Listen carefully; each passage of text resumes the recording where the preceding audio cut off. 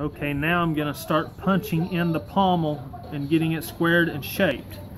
What I'll do is I'll punch on the face of the pommel on either side, but I'll try to make sure and leave the point. I don't rem remove too much mass off the face. I wanna remove more flakes off of this area. And I squeeze it between my legs so it'll they'll come out in the air.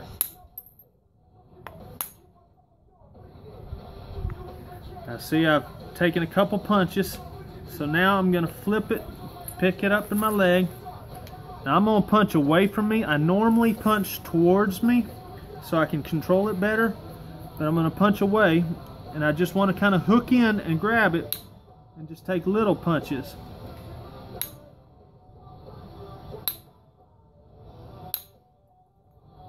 There, and see how it didn't go very far.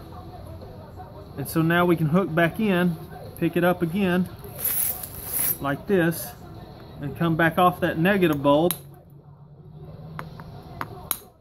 and drive another one. And there, so that's starting to narrow up this ridge. Now we've got quite a bit of length to lose to square it up completely. So I can I can pound it pretty hard like that and see how it goes pretty flat. I've got this ridge right here now that I can take off There we go. And see how that flake went right to the edge? You got to be very, very careful about not hitting it too hard and getting it to go right to the edge. See these flake, these hits aren't very hard, just enough.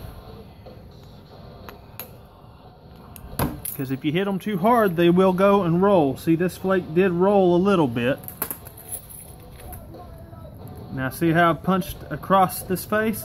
I'm to come back and I'm to go at an angle to try and get that edge like that. There we go. Now this is starting to round over. I don't have much, so I'm to come back from the other side. And I'm to come, it's, it's kind of bowed, so I'm to straighten it out from the middle first. There we go. See how that went wide and ate out, but it didn't come over here too, too much. I'll come back right here again. And that one went right to there. That's not bad. There we go. That one kind of did a little concave. I'm just taking little short flakes. And see, we don't want to that's already starting to make it kind of concave here. We only want to take a few flakes off the face of the pommel, kind of. got to get my pad to work right for me. Just to kind of keep it square.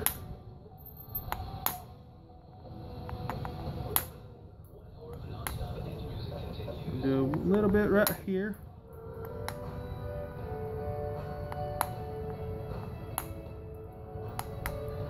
Nothing, nothing too terribly much. We'll flip it over and do it again. You see it's already starting to be pretty square. Now the biggest issue we're going to have is right here.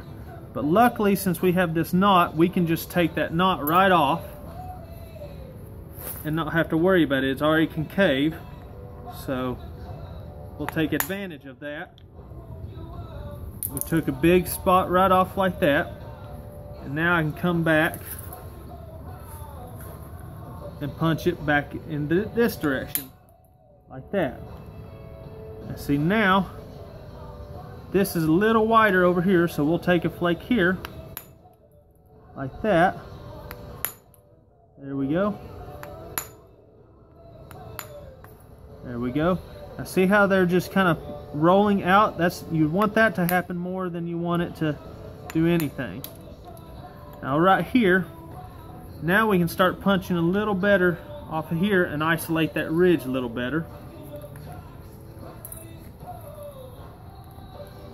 There we go. Now we're going to punch off this ridge.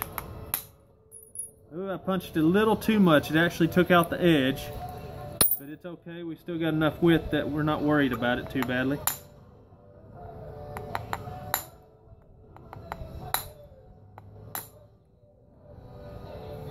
Go. We've got that ridge come in.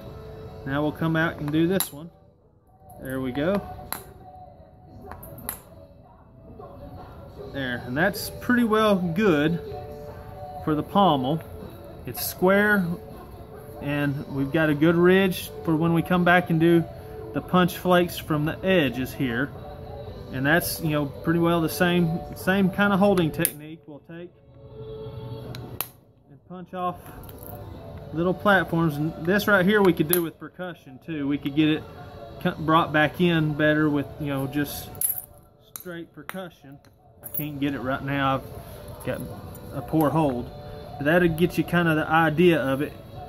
And then you come back in and you narrow this up a little bit more, straighten out this ridge, and then you start punching off this ridge to do that. And then when you come back here, you do your pressure flakes to clean that up.